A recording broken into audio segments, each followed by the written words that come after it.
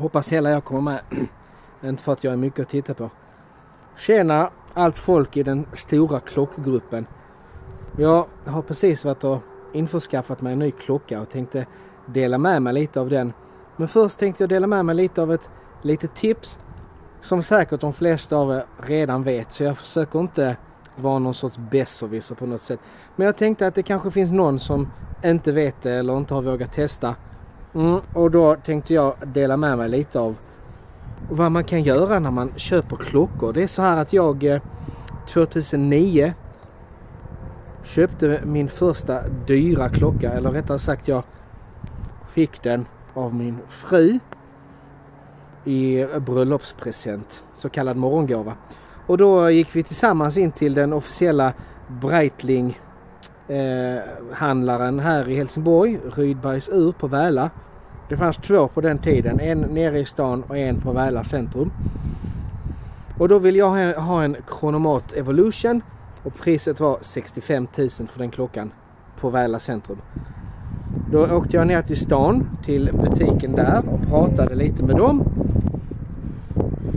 Och frågade om de kunde erbjuda mig ett bättre pris än 65 för samma klocka.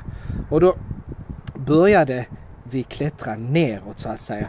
Och när det här hade slitat då slutligen köpte jag klockan på Väla centrum för 53 000 kronor. Bara genom att gå fram och tillbaka mellan de här båda officiella eh, klockbutikerna och eh, försöka få ett så bra pris som möjligt som kund. Och de kunde sänka priset från ursprungliga 65 000 på Väla centrum och Rydbergsur till 53. Det är 12 000 kronors skillnad.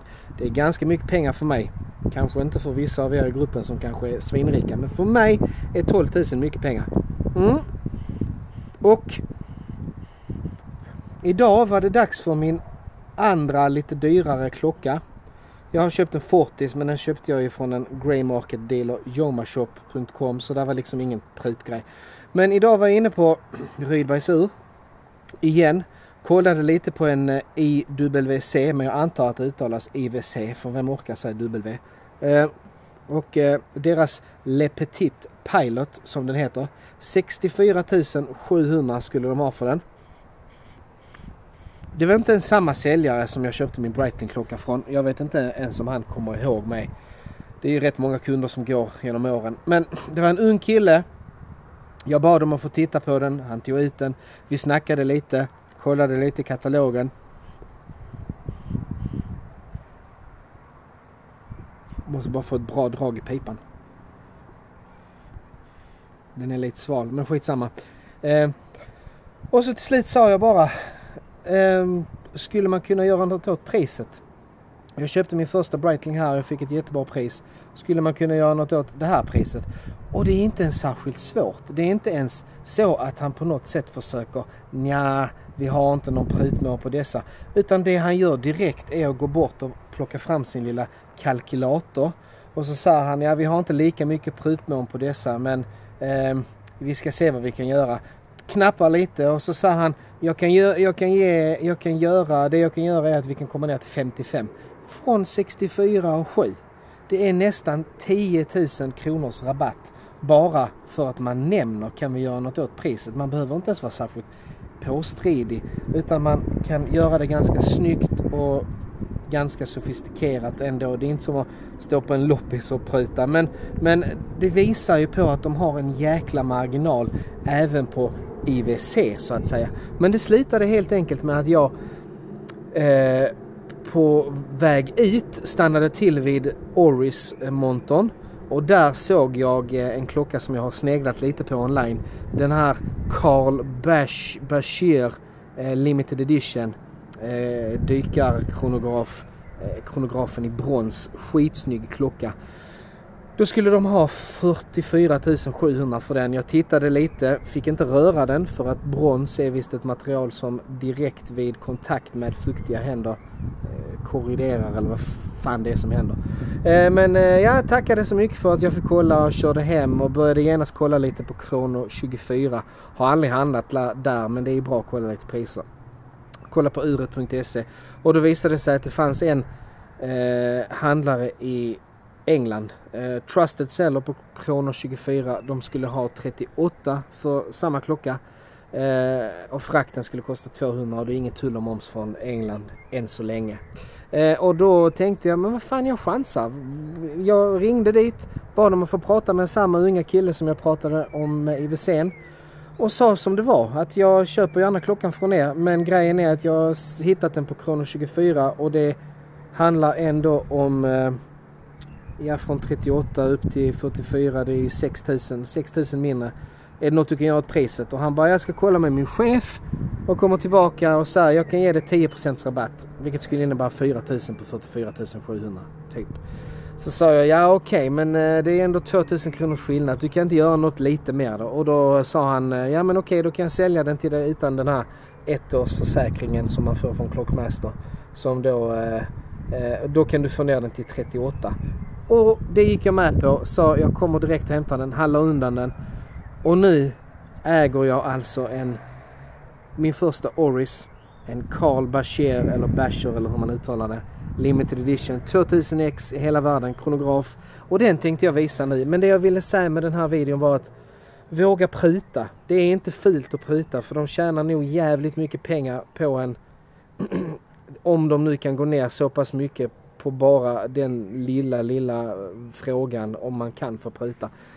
Var inte påstridig, var inte otrevlig utan bara ställ frågan lite snyggt och så går det som det går. Nu fick jag ju en klocka som jag jättegärna ville ha för samma pris som var det billigaste jag kunde hitta på Kronor 24 från en officiell säljare här i Helsingborg med certifikat och påskrifter och allt. Och det är den vi ska kolla på lite nu. Så var inte blyga för att pruta. De kan göra ganska mycket i butikerna. Jag vänder kameran och så kollar vi på klockan. Okej? Okay? Nu ska vi se. Här har vi då eh, påsen. Vibasoo. Det blir lite svårt att göra detta med en hand. Jag fick ju sådana här handskar till för man... Jag vet, det, vissa, vissa snubbar som kollar klockor på nätet de har ju alltid handskar på sig. Och då tänkte jag att jag kanske ska göra likadant för skojs skull. En hand är fan inte lätt att göra så. så. Här har vi lådan, en grå låda. Jag ska ta ut de här handskarna. Ögonblick. Ska vi se. Det blir lite trist här nu men eh, det var jävlar i det små handskar. Oh, vänta. När man bara har en hand så får man göra lite med munnen. Nu ska jag bara ta på mig den här. Det finns ju inte en chans. Alltså varför fick jag S? Såg han inte att jag var fet? Skitsamma, vi skiter i handskarna. Jag behöver inte röra klockan särskilt mycket. Just för tillfället, för jag vill göra det lite själv sen. Här har vi då lådan och då öppnar vi upp det här. Slänger ner den. Och här har vi eh, själva boxen. Öppnar bort där. Oh. Och så här. Jävlar vad händer här. Det var inte så lätt med en hand. Där.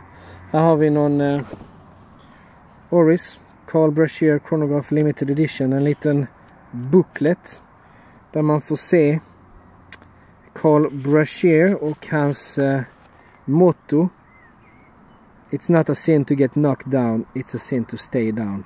Coolt.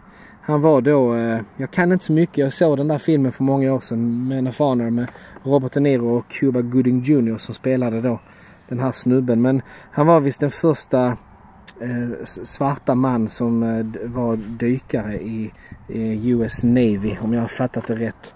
Vi gör lite så här att vi flyttar på den för att det är denna vi är intresserade av. Här öppnar vi upp här. Och där har vi då den där sigillet, loggan. Och här har vi då Carl Brashear-klockan. Här i fanns visst eh, bronsspännet till remmen som eh, jag kunde sätta på om jag ville. Brons.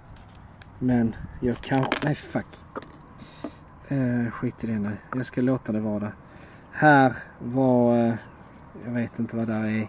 Och här har vi då själva klockan. Uret.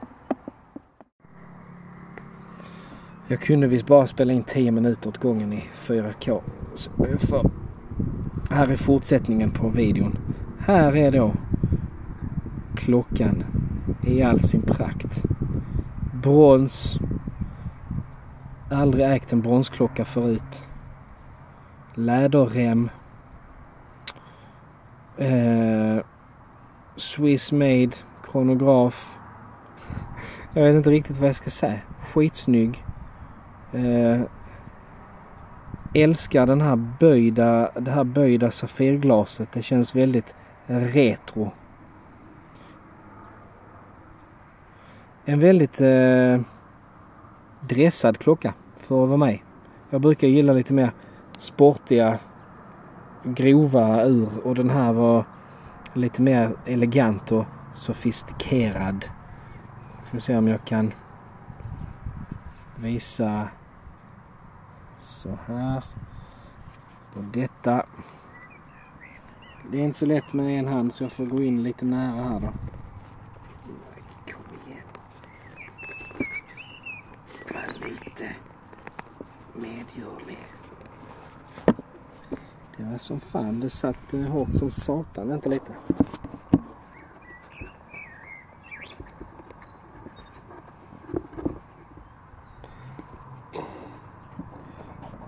Så, tar upp telefonen igen. Där har vi den.